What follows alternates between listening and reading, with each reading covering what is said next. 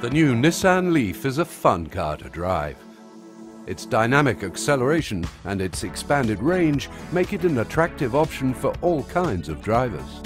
To help you optimize your energy consumption and make the best out of your battery charge, Nissan has included several driving tools to adapt to your needs.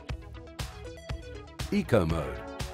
Activated from the steering wheel or the shift, depending on Leaf models, the Eco Mode is a driving mode you can switch to at all times.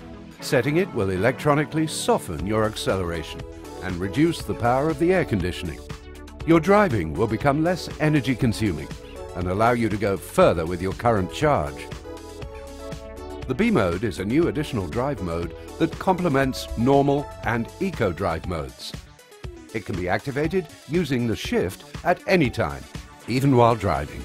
When activated, the regenerative braking system will be amplified, meaning that your Leaf will slow down quicker when you release the acceleration pedal, similar to an engine brake.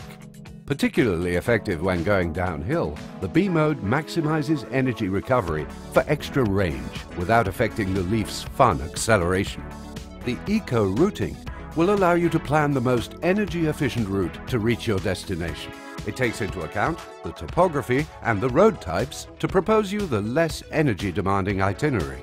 Just set your parameters and the eco-routing takes care of the rest.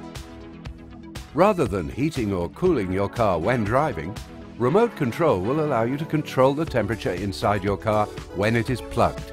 The temperature will be just right for when you're ready to go and allow you to keep your full battery power for the road.